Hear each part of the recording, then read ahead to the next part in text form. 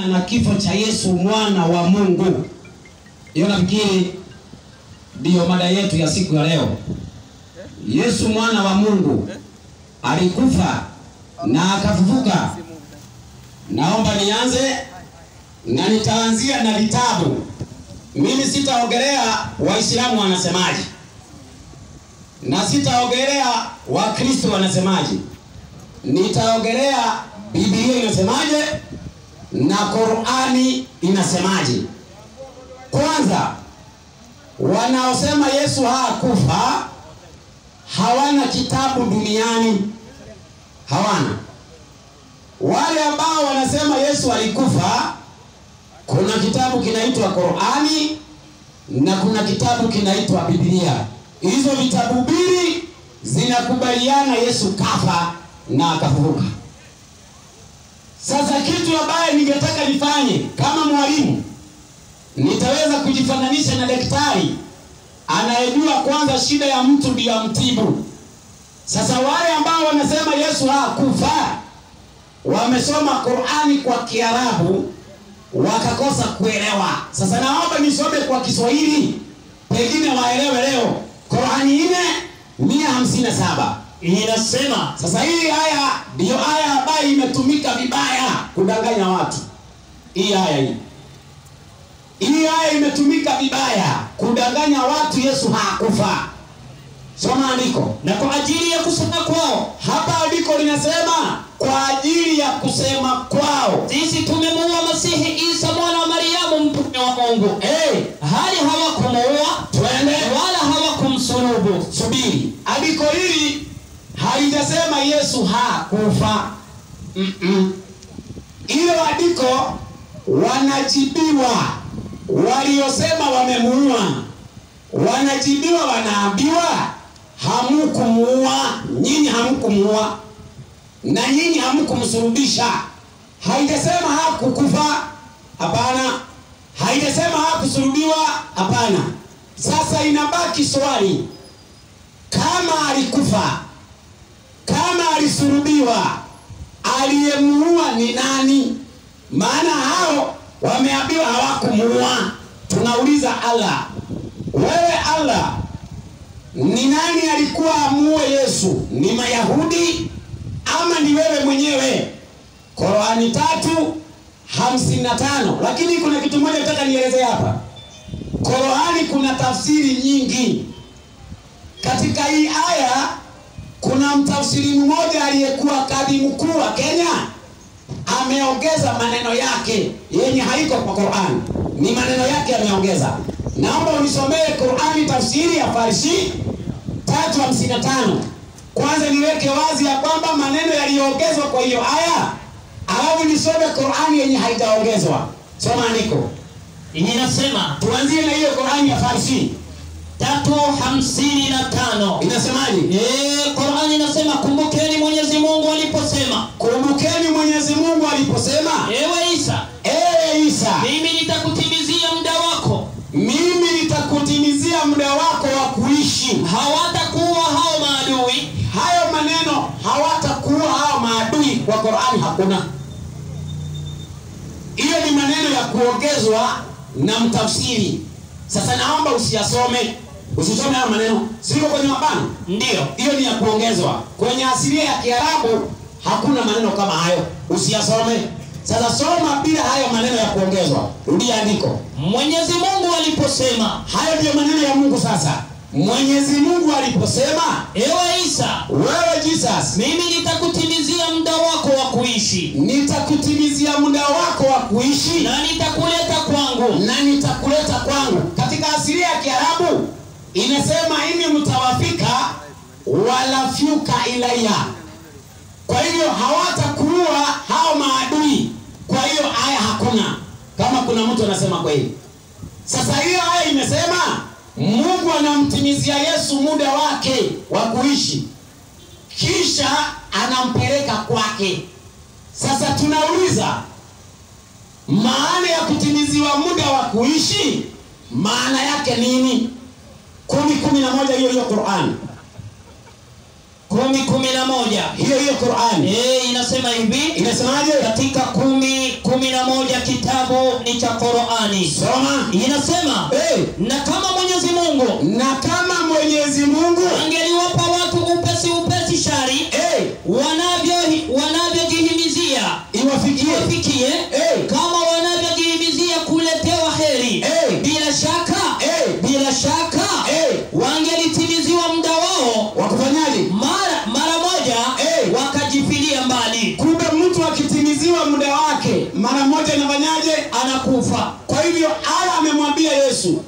mimi nitakutimizia nini? muda Kisha nitafanyaje? nitakunyanyua kwangu Kutimiziwa muda maana yake ni kufanyaje? ni kufa Kwa hivyo kama Yesu alikufa, nani alimuua? Allah Allah ndiye alimuua, sio Mayahudi.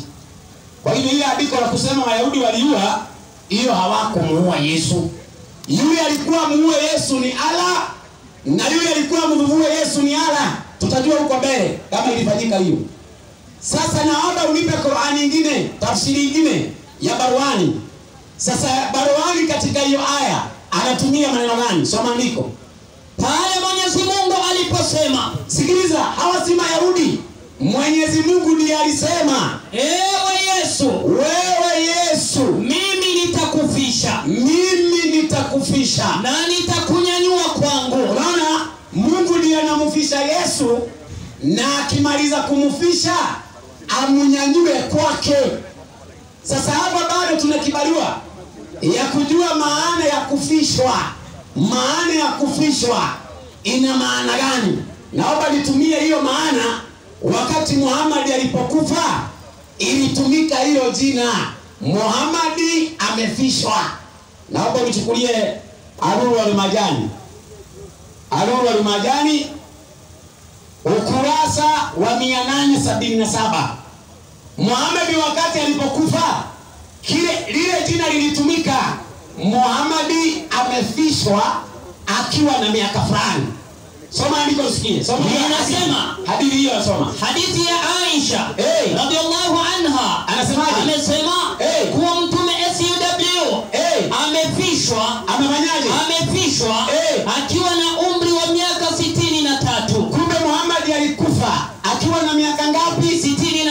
na Ina maana alifi alifishwa kufishwa ni kufanyaje? ni kufa Hayaenda katika sasa ile ya Yesu sasa tatu hamsini na tano. Sasa kuja ukatae kufishwa si kufa.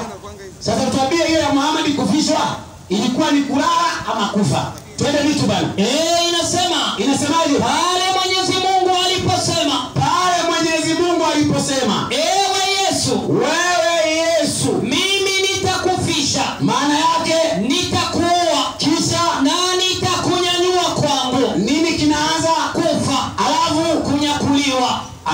kunyakuliwa. Sasa tunauliza kunyakuliwa imetimia? Tukiona kunyakuliwa imetimia, tujue tayari ashakufa, maana anakufa kwanza ndio anyakuliwe. Sasa naomba ulipe hiyo Qurani ya Farisi ine mia hamsini na nane sasa nne mia hamsini na nane Eh, inasema hivi inasemaje? katika nne mia hamsini na nane kitabu ni cha Qurani Inasemaje? bali Mwenyezi Mungu Bali Mwenyezi Mungu, alimnyanyua kwake kumbe Mungu amefanyaje? amemnyanyua Na alikuwa ndio amnyanyue. Nini ianze? afe Ndio afanyeje? anyanyuliwe Basi hiyo ndiyo Qur'ani. Sasa tunauliza wanachuoni, wasomi na watu ambao wanakubalika katika imani ya Kiislamu, tunamuuliza Ibn Abbas ndugu yake Mtume Muhammadi, hii aya ya tatu hamsini na tano yenye inasema ini mtawafika walafyuka ileya, wewe Ibn Abbas unasemaje? Naomba unisaidie hiyo aya hiyo tatu hamsini na tano fafanusi yake. Inasemaje? inasema ndio. Mutawafika. Mutawafika. Nitakufisha. Maana yake nitakufisha.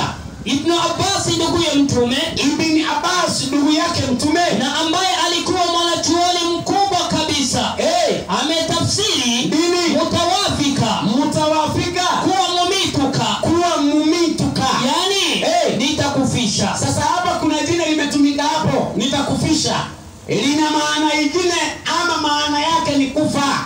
Soma vile Ibn Abbas anasema, anasema neno tawafa, neno tawafa. Linavyotumika kwa namna hiyo, linavyotumika kwenye hiyo aya, neno hili, neno hili, neno hili, neno hili. halina maana nyingine, halina maana nyingine. isipokuwa maana ya kuchukua roho, isipokuwa maana ya kuchukua roho. au kufa, au kufa. Kwa hivyo Yesu alikuwa mujibu ya ndugu yake Muhammadi ibn Abbas. Kwa hivyo saa hii tukisikia Mwislamu anasema Yesu hakufa, anampiga huyo mwanachuoni, anapiga Qurani. Sasa tunabaki tuone wakipigana ngumi na Qurani. Sisi tuanze tu kushughulikia tukushughulia namna vita inaenda, Qurani Waislamu, Qurani Waislamu.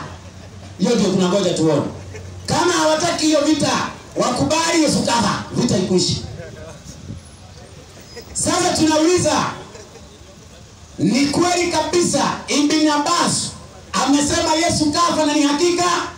Katika hiyo hiyo aya hiyo hiyo Qur'ani imesoma, soma ukurasa wake wa pili hapo, inasema hivi inasemaje? eh, Qur'ani tatu hamsini na tano fafanusi yake inasema hivi inasemaje? kuwa nabii Isa amekufa Kuwa Nabii Isa amekufa. ni jambo la hakika kabisa Eh, lisilo na kinyume. Sasa mjadala nini? Mjadala nini tunaulizana jamani? Wakati Qur'ani imesema ni hakika Yesu alikufa. Sasa naomba pengine hiyo ni ya Kiswahili. Tusome ya Kiarabu yenye imetafsiriwa na Ibni Abbas. Maneno ya Ibni Abbas kutoka kwa Ibni Kathir. Soma kwa Ibni Kathir sasa. 355. Inasema Eh. tafsiru al-Qur'an al-azim Eh, ya Sheikh ibnu Kathir. Anasema hivi. Anasemaje? eh, waqala Ishaqa ibnu Bashar. Twende. na anasema Ishaqa mtoto wa Bashar. Na inaomba walimu wa Kiislamu mkipewa dakika ishirini, hiyo Qurani haitatoka hapo kwa meza, mpite hapo mseme inaogea uongo ama inaogea ukweli, mtuweke sawa. Eh, maana hapa najua kuna wa, kuna wasomi wa Kiislamu ambao wanajua hiyo Qurani ya Ibn Kathir. Sasa kama inaongea uongo, mtuweke sawa. Soma hiyo hadithi. an Idris Eh, hey. kutoka kwa Idris safi. an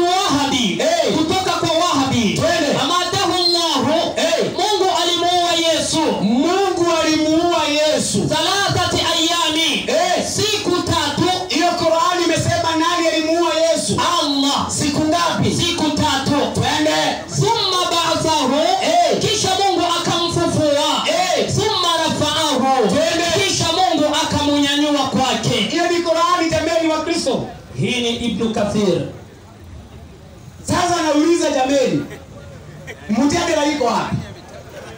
Ndio nikasema Qurani na Biblia zinakubali Yesu kaba, ni watu wengine wanakataa kwa sababu ya mambo yao ya kada huko.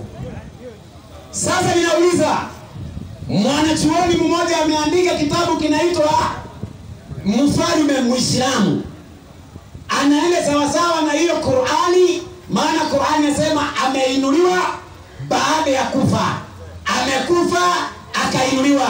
Huyo mwanachuoni nisomee ukurasa wa kumi na nne anasemaje?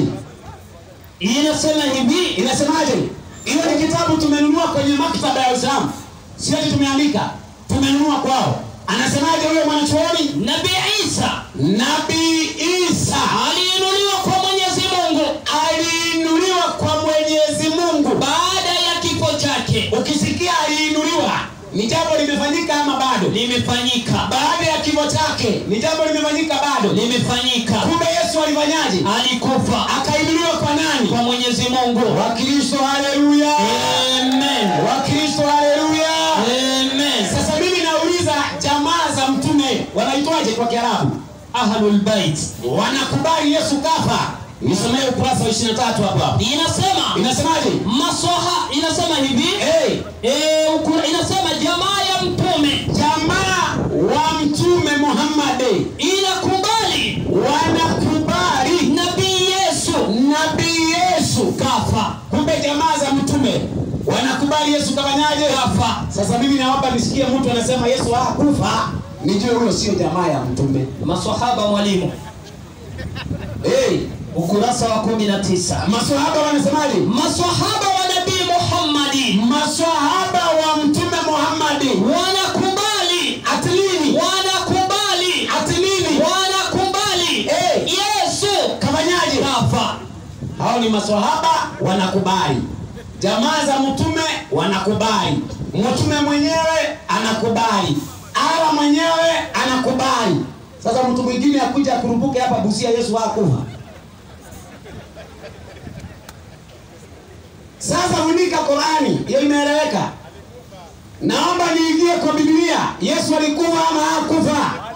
Wakorintho wa kwanza 15:3 inasema inasemaje? 15:3 kitabu ni cha Wakorintho wa kwanza, soma. Kwa maana kwa maana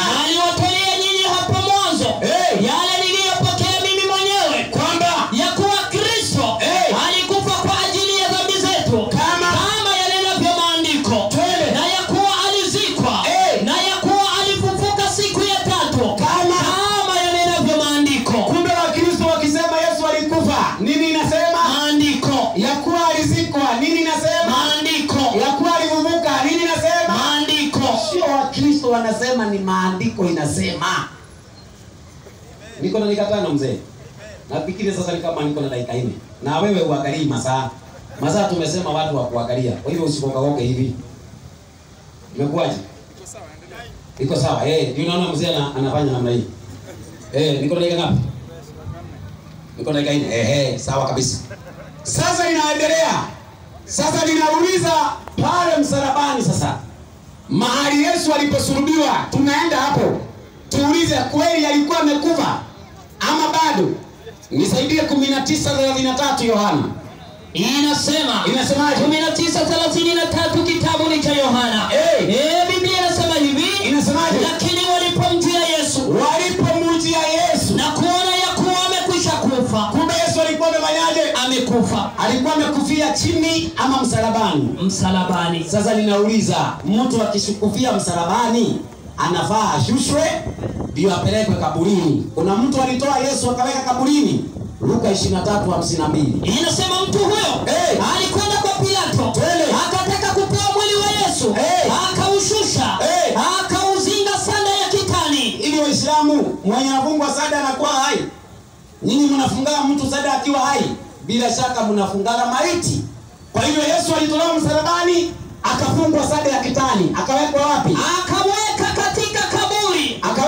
wapi? katika kaburi Basi kaburi Yesu ameingia na alisema nitafufuka siku ya tatu. Twende kaburini tukaangalia hako bado ama alifufuka kama alivyosema. Mathayo 28 mstari wa tano. inasema malaika akajibu akaambia wale wanawake Akawaambiaje? msiogope nyinyi Msiogope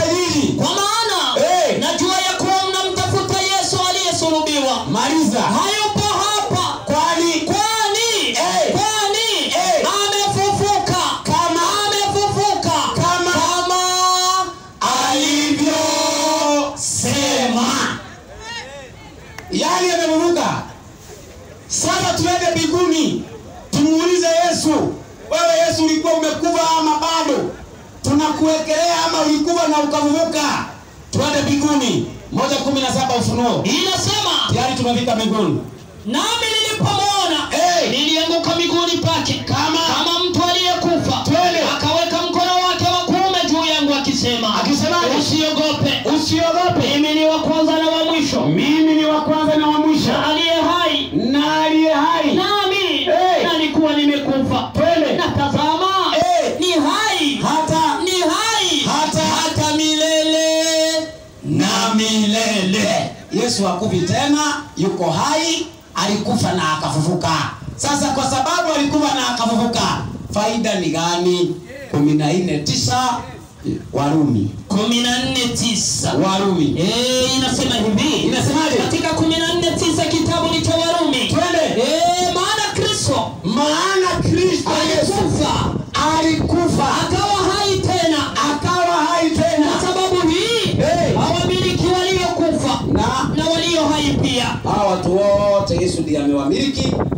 maana alikufa na akafufuka. Muhammad bado. Kwa hivyo nafikiri hiyo tutaangalia baadaye tukimalizia hii. Assalamu alaikum warahmatullahi wabarakatuh. Haya, basi katika awamu ya kwanza upande wa Kikristo wametumia muda wao vizuri sana, dakika 19 sekunde 53 nukta 79. Kwa hivyo muda mzuri kabisa, na somo limefika, ujumbe umefika kwa walengwa. Naomba nimpishe vile vile mwalimu wa upande wa Kiislamu. Karibu, dakika zako, karibu. Asante sana bwana mwenyekiti. Waislamu, assalamu alaikum warahmatullahi wabarakatuh. Waalaikum salam wa Eh, na ndugu zetu majirani zetu wa Kristo, amani ya Mungu iwe pamoja nanyi. Nimefurahishwa sana na Wakristo wa Busia kwa vile hawajapiga makofi. Mungu awabariki. E, msipige makofi. Ah, mimi Mungu awabariki kwa sababu mjapiga makofi. kwa sababu ni vizuri. Mnaambia tu haleluya, mnasema bas, that is inatosha. Hakuna makofi nini, hakuna ushabiki. Hii ni dini, si dili. Usifanye kama Manchester na Arsenal, ikishindwa ni hiyo hiyo, ikishinda ni hiyo hiyo. Ah, ah. Mwalimu akienda kando hapo unasema bana hapa mwalimu kweli ameenda kando. Usifanye ushabiki, sawa eh? Tuanze kumi na moja moja. Hawa nimeongelesha Wakristo, wote nimeongeleshe mwalimu. Ayubu kumi na moja mbili, nimsalimie mtoto mdogo Bwana Ndasha anacheza na maandiko. Twende Inasema hivi mwalimu wangu. iseme Je, je, Ndasha je, je, wingi wa maneno haya hii kuropokwa sana unadhani utajibiwa? Unadhani mimi sitakujibu? Twende na mtu mwenye maneno, Na mtu mwenye maneno mtu aliyejaa maneno kama wewe. inasema Eh, eh, nawe nawe eh, majivuno yako na hawa majivuno yako, oh Waislamu, Yesu amekufa. Qur'ani inasema eh, hii majivuno yako ifanye nini? eh, yatanyamazishwa Yatanyamazisha watu. Yatanyama- yatanyamazisha watu wawe kimya. Wewe unafikiria sisi tutakuwa kimya kwa sababu atindasha amesema Qur'ani imesema Yesu amekufa? Hiyo never. Na mtu aliyejaa maneno mengi Na mtu ambaye ako na maneno mengi utadhani utahesabiwa mwenye haki. Wewe unafikiria tutakuhesabu mwenye haki? Tuanze na Qur'ani. 457 tuanze separation operation. Eh, mia moja hamsini na saba. Wakristo tatizo ndo hiyo. Nyinyi hamna Qur'ani na mkikuja kwenye mkutano mnasomewa Qur'ani nusu. Lakini kwa sababu Muislamu niko hapa, mi nitaimaliza. Twende vitu. Inasema Iseme wa qawlihim inna qatalna almasiha Isa ibn Maryam rasul allah Wama. wama qataluhu wama wama salabuhu na kwa ajili ya kusema kwao kwa ajili ya kusema kwao sisi tumemua basi Isa mwana wa Maryam safi. Mwenyezi Mungu. Asante. hali Hali. hawakumuua wala wala hawakumsulubu. Akamwambia subiri mwalimu. Unaona qurani inasema inawajibu wale watu wanaosema sisi tumemuua. Qurani haipingi haisemi yesu akufa. Sasa itasema aje kama hujamaliza? Maliza usikie maneno. Inasema hivi. Iseme. Inasema. Nini? Eh, lakini Eh. walibabaishiwa mtu mwingine. Safi. Wakamdhani nabii Isa. Na kwa hakika na kwa hakika wale wale Eh. waliohitilafiana katika hakika hiyo. wale ambao wako na shaka je yesu aliuawa ama kuuawa ama nini? Mungu anasemaje? Ya kumuua nabii Isa. Safi. Wamo. Wamo. Katika shaka nalo jambo hilo. Ndo hiyo wakristo wote wako katika shaka na jambo la bwana yesu kuuliwa. Wa kwanza kuwa shaka ni moja naanza na Pastor ndasha. Ndani ya kanisa ya sda hakuna msalaba na kama anasema uongo akuje hapa aseme. Hakuna ndani ya kanisa ya sda hawaweki msalaba kwa sababu wanajua msalaba ni alama ya nini. Tatu ni usifunge hapo eh? tatu kumi na tatu wa galatia. Kwa nini sda haweki msalaba kwa kanisa yao? Sda yoyote yoyote Seventh Day Adventist Church kanisa ya Ndasha hawaweki msalaba. Hata kama anahubiri na simsingizi ako hapa. Twende. Imani ya mlango wa nyuma eh? ili anajua anawadanganya wakristo lakini anajua hii msalaba ni alama ya kitu mbaya sana. Ni nini? Twende. Tatu kumi na moja wagala. Tatu kumi na tatu wagala baba. Inasema hivi Naam. nimeshafika kristo. Wewe tatu kumi na tatu wagala. Kristo. Kristo. Alitukomboa katika laana ya torati. Biblia anasema na ni Paulo anazungumza katika waraka hiyo, anasema Kristo alitukomboa katika laana ya Torati. Kwa nini? kwa kuwa alifanywa laana kwa ajili yetu Kwa sababu Yesu alifanywa laana kwa ajili yetu. Wakristo ngapi wanasema Yesu amelaaniwa? Hakuna. Subutu. Maliza. kwa maana Kwa sababu nyinyi Wakristo, imeandikwa Biblia imeandika, imeandikwa imeandikwa nini? amelaaniwa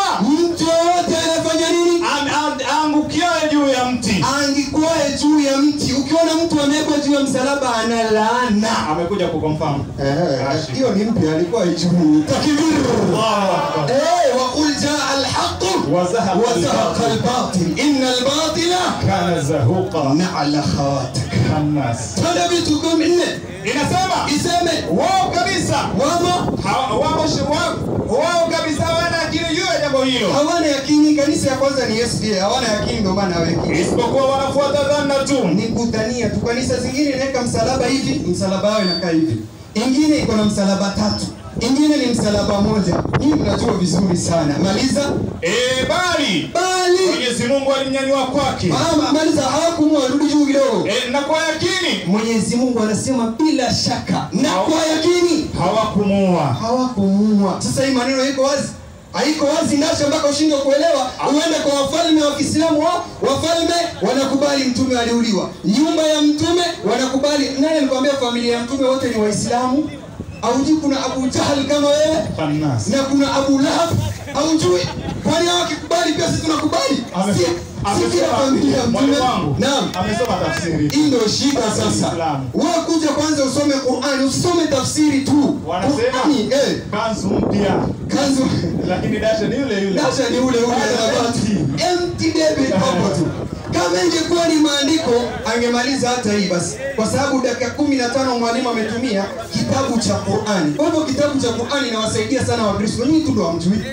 Na kama mnakubali Qur'ani inasema Yesu alikufa na aliyemuua ni Allah, nyinyi mnangoja nini msiamini Qur'ani kama nyinyi si wanafiki kweli? Tuanzeni hapo. Mnangoja nini kama inakubali imani yenu? What are wait. Je, Mungu anatuma manabii ili nabii aongoze mtu kufika kwa Mungu ama anatuma nabii aje akufe? Mbona hakuna nabii aliyetangulia kafa kabla Yesu kwa ajili ya dhambi ya watu. Na kupigwa msalabani, na kupigwa msalabani? Tena isitoshe, Yesu ambao ni kipenzi cha Mungu, nabii aliyetumwa na Mungu, amezaliwa kimeujiza, analia mchana, anasema Eloi Eloi lama sabakhtani yaani Mungu anamwacha na anasikia kilia niwa Kristo, Mungu anaacha mwanawe. Na mnasema ni mtoto wake kwa sababu leo amemshukisha cheo. Ilikuwa ni Mungu, lakini leo wanajua ni Yesu ndiye, na wewe ndiye Yesu ni Mungu, lakini kwa sababu leo tunazungumzia kifo cha Mungu, hawezi kubali Yesu ni Mungu, anasema ni mwana wa Mungu. Eh, Mungu kufa hapo na itakuwa shida. Alafu alisoma na e, mfalme wa mfalme wa e, eh, inasemaje? Mfalme wa Muislamu. Eh, Kwa mfalme Muislamu. eh, Nataka nisome pale aliposema. eh, Eh, inasema iseme jamii jamii ya mtume jamii ya mtume inasadiki ya kwamba inasadiki ya kwamba Nabii Isa alikufa. eh, Yote yanafundisha kwamba Eh. Nabii Isa alikufa. eh, Kwa hiyo kwa hiyo ni kosa Wakristo ni kosa kusema kusema na kusadiki Nabii Isa alikufa. mbona hukusema hapo pastor kama wewe ni kweli? Why are you lying to these people? Angejikuna kuna. Waambie wa ukweli bwana, hata kama fungu la kumi itaisha. Tell them the truth. Tell them the truth. You will know the truth and the truth shall set you free. Yesu amesema hivyo. Utajua ukweli na ukweli utakuweka uhuru. Leo mnapata ukweli kutoka kwa Waislamu bure bila kuwachangisha hata shilingi. 355 Qur'ani aya iliyosomwa vivivi ikiwekwa kiraka nyingi. Ah! Kama Qur'ani inasomwa hivi inna lillahi Ah, mtihani kweli ba. Tuone vitu. Yaani hawa watu naogopa sana. Qur'ani dunia nzima ina cover nzuri. Hiyo wameweka ya black kama Biblia. Hawa watu wakali kweli. Wanaitengenezea mpaka cover tu. Alafu alikuwa ajui maana ya ufafanuzi na maana ya bracket. Anasema bracket ni kuongeza. Kumbe huyu pastor hajasoma hata Biblia. Nitayarishie Biblia alafu nimweleze maana ya mabano si kuongeza. Somanga Biblia kabla ya kuruka kwa Qur'ani. Inasema. Naam. Eh, tusome Biblia. Wewe fungua hiyo Biblia tumfundishe nini maana ya mabano. Mabano si kuongeza. Pastor, kama hujui bana sema tukufundishe. Oh. Badala ya kuja kuongea wewe. Ameongeza. aliongezea. Alijua kuna watu kama wewe ambao haujui Qur'an unakuja kusoma ndo akakusaidia. Biblia inasema hivi. Biblia inakufundisha nini? Inasema vifungo. Vifungo blankets. Maneno yaliyofungwa kwenye vifungo wa mviringo maneno ambayo imewekwa ndani ya blanket mbili hivi katikati ya maneno yanaleta maana ya msaada hiyo inakusaidia wewe ndasha ili kwamba mwenye akili ili mtu mwenye akili apate kuelewa zaidi waislamu tunaelewa zaidi maneno anayoyasoma. maneno ambayo tunasoma lakini anasema imeongezwa Ameacha kwa sababu hana nini? Twende sasa ndani ya Qur'ani. Soma hiyo maneno alafu kwa nini farsia aliweka hiyo maneno? Kwa sababu haukumaliza ndasha. Wacha kusoma Qur'ani nusu nusu. twende vitu Hii sio Biblia. hii sio Biblia. Bahari kubwa hii unaongelea na kanzu, sio hii lazima uvae kanzu ndio float juu. Ukivaa suti utazama. Twende na haya nzuri sana ndasi anajua mavazi ya bwana yesu ni gani. Eh, eh tumekubali si waislamu sio lakini ni ya yesu. Na ndio maana sisi tunampenda. Ambia wakristo wengine wavae kanzu uone kama upigwi na mawe leo. Ama waende msikitini. Twende. Eh, inasema ama kesho ama siku ya jumamosi uvae hivyo. Eh uone kama ufukuzi. Twende huyu anaweza kwa sababu hayuko popote, eh kweli. Na maana hata Ukristo aamini anaenda naye. Inasema niseme, kumbukeni. Kumbukeni nini? Mwenyezi Mungu aliposema, naam. Ewe Isa, ewe isa. mimi nitakutimizia muda wako wa kuishi. angalieni wakristo kitu kwa wazi. Si wayahudi sio waroma a. mungu anamwambia nabii yake hakuna mtu atakuwa mimi mwenyewe mungu. Nitakutimizia muda wako wa kuishi sasa unakuja unasema watu wengine wanampiga wanamweka msalaba wanamweka juu. Kama nani? Wanamfanya nini nabii wa mungu? Mungu akiwa wapi? Amelala.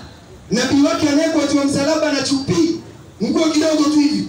Na alafu anasema na nitafanyaje? Na nitakuleta kwangu. Na nitakuleta kwangu. Na nitakutakasa na wale walio waliokufuru anaambiwa nabii isa kwamba mwenyezi mungu atamtakasa hawataweza kukudhuru. hawataweza kukudhuru. Ndio maana farisia akakuwekea hayo kwa mabano ili uelewe kwamba haya maneno yanamaanisha hawatakuua. Mungu atamtunza bwana yesu na atampeleka mahali anapataka yeye. Wala hakuna mtu yote anaweza akamchukua bwana yesu kwa mungu amuue. Kwa sababu nani alikuwa ana plan mambo ya msalaba? Ndasha kusoma Biblia leo. Amesoma quran na kwa sababu mimi naijua bibilia mtaisoma bibilia ili ndasi akuja atetea seme kama nadanganya na aliyepanga master plana wa msalaba ni shetani 22 tatu kitabu ni cha luka Inasema iseme shetani, shetani shetani alimwingia nani mjomba mwenyewe Eh. alimuingia Yuda yuda aitwa Iskarioti, Naye. naye ni mmoja wale tena ashara. akaenda Akaondoka akasema naye Eh. na wakuu wa makuhani Ili- na wajemedari jinsi watakavyoweza kumtia mikononi mwao. Wakampa. Wakafurahi sana, Eh. wakapatana naye kumpa fedha. kumbe kifo cha yesu inapangwa na pesa kuna corruption inafanyika ili yesu awekwe msalabani. Corruption yenyewe ni gani? Yuda mwanafunzi wake anamsaliti kwa sababu ameingiliwa na shetani kisha anaenda kwa wakuu wa